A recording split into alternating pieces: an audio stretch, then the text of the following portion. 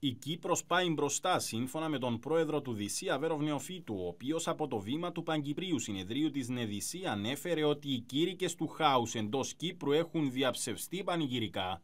Και σίγουρα μπορούμε να δημιουργήσουμε την καλύτερη Κύπρο.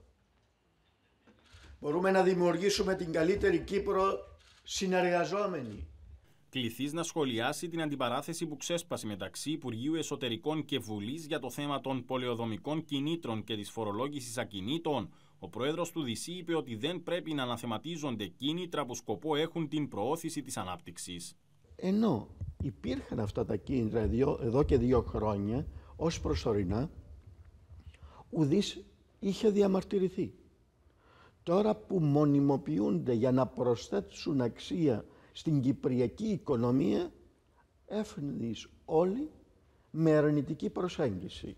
Σε ό,τι αφορά στο Κυπριακό, Αβέροφ Νεοφίτου επανέλαβε ότι μεγάλα οράματα δεν χωρούν σε μοιρασμένες πατρίδες. Μεγάλη ευκαιρία που διανοίγεται για ένα έντιμο συμβιβασμό.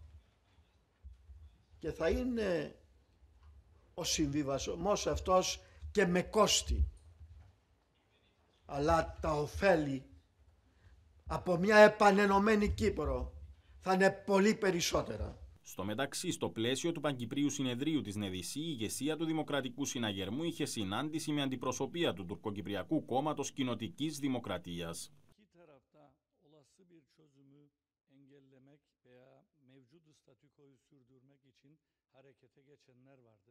Είναι κάποιοι που εργολαβικά και καθημερινά πρέπει να εκδίδουν μερικές ανακοινώσεις που να βγάζουν σε όλα σχεδόν ανεξαιρέτως τα θέματα ένα αρνησμό. Δημοκρατικός Συναγερμός και Τουρκοκυπριακό Κόμμα Κοινοτικής Δημοκρατίας εξέφρασαν τη στήριξή τους στην προσπάθεια εξέβρεσης λύσης στο Κυπριακό που θα δημιουργεί προοπτικές για το σύνολο του Κυπριακού λαού.